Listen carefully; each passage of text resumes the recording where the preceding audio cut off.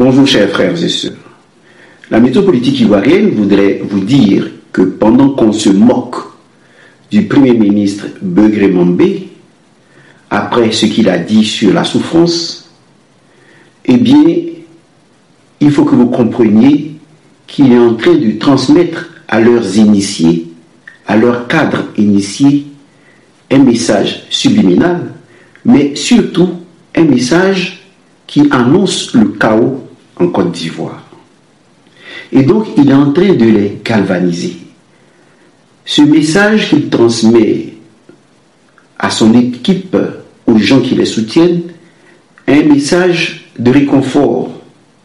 Comme quelqu'un qui vous dit, n'ayez pas peur, on doit passer par là.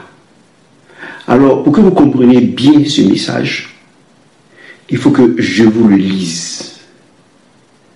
Mais quand je vous dis que c'est un maître franc-maçon, un pasteur franc-maçon, c'est-à-dire il est comme un grand prêtre qui dit la messe au nom de Ouattara, eh bien, je le dis parce que toutes les sorties de Belgré-Mambé veulent expliquer, tendent à expliquer de manière rationnelle tout ce que nous vivons. On dit la la vie est chère, et dit l'endettement, on peut l'expliquer rationnellement. On lui dit on souffre, il dit mais la souffrance et la joie sont des sœurs jumelles. Mais il faut que je vous explique que nous sommes face à un gouvernement de francs-maçons et le Premier ministre, au-delà de sa fonction ou je ne sais pas, de son sacerdoce, il est un grand prêtre franc-maçon qui explique en quelques mots des notions très fortes à tous ceux qui entrent dans l'administration de Ouattara et qui sont des initiés.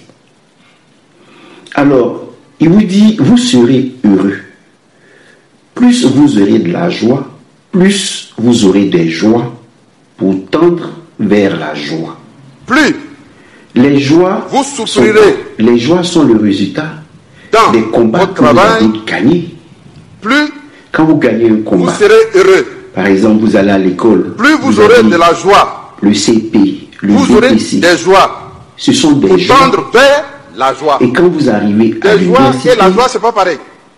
vous avez des joies. Des joies, Et quand vous commencez à travailler, morceau, la joie la est joie permanente. c'est un état un peu plus Donc, permanent. il vous explique que pour arriver à la joie La souffrance et la joie sont on passe par des sœurs jumelles qui sont des morceaux. qui se nourrissent l'une et l'autre. Mais quand on atteint la joie, c'est permanent, c'est pratiquement permanent. Quand vous êtes médecin, après avoir souffert, après avoir étudié, c'est permanent. Vous êtes médecin tout le temps, jusqu'à votre mort. La Donc, souffrance et la joie sont. Des sœurs Et jumelles maintenant, qu'est-ce qu'il nous dit? Il nous dit que la souffrance et la joie et sont des sœurs jumelles qui se nourrissent l'une et l'autre. C'est à ce niveau-là que Si nous entrons Vous dans la consumez maçonnerie pure. la souffrance, Parce que ce qu'il est en train de dire, c'est quoi? vous augmentez L'initié de la franc-maçonnerie doit imiter non pas Dieu, et ils ne glorifient pas Dieu. Ils imitent celui qu'ils appellent le G-A-L, le G-A-D-L-O. C'est-à-dire, le grand architecte de l'univers. G-A-D-L-O. U. Le grand architecte de l'univers. Pourquoi?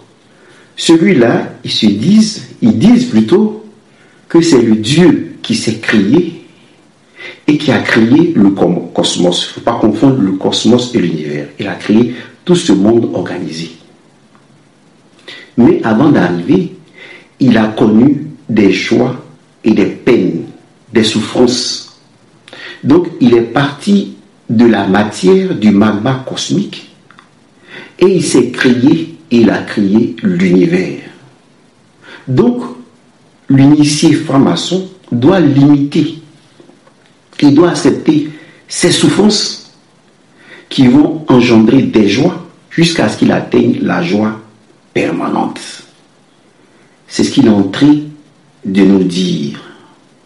Et à ce niveau, je voudrais m'arrêter pour expliquer que cette doctrine est contraire à celle des croyants. Quand je vous dis que c'est un grand maître franc-maçon, c'est pour vous dire que le franc-maçon dit qu'il ne, ne, peut rien accepter sans l'expliquer. C'est-à-dire, tu lui dis, la Vierge Marie est Immaculée Conception. Pourquoi elle est l'Immaculée Conception? Explique-moi rationnellement. Euh, Dieu est Sainte Trinité. Pourquoi Dieu est Sainte Trinité Explique-moi rationnellement. C'est-à-dire, tant que eux, ils n'ont pas admis quelque chose au moyen de la science, ils ne croient pas. Donc, les Français disent, ce sont des scientistes. Ils ne croient qu'en ce que la science peut expliquer. Voilà pourquoi Begré B explique tout. La dette, la mort, la souffrance, la joie. Il explique tout. Donc ici, nous sommes face à un maître franc-maçon qui dit d'imiter le G.A. Derlou, le grand architecte de l'univers, qui est né, c'est comme si la vie était née de la matière. Alors, la première des choses que je vais vous expliquer, c'est que c'est contraire, disons, à toutes les vérités que les religions enseignent, que ce soit l'islam, que ce soit le christianisme. Quand il vous dit par exemple à la fin, si vous consumez la souffrance, vous augmentez la joie.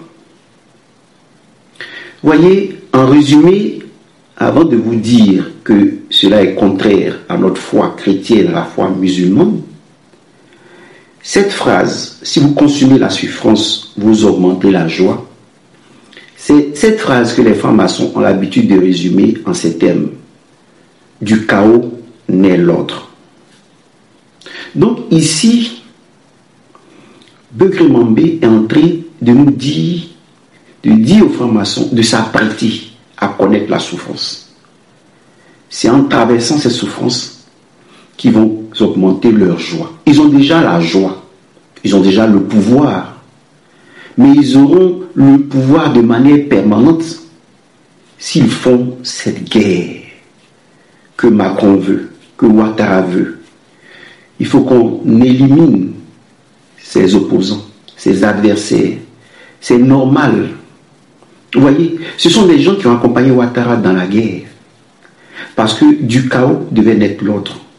Des massacres à Djoikou et tout ça, eux ne voyaient pas ça comme des massacres. Quand quelqu'un te dit la souffrance et la joie sont des sœurs jumelles, il va te dire le mal. La souffrance et la joie sont, des sœurs jumelles. Des sœurs jumelles.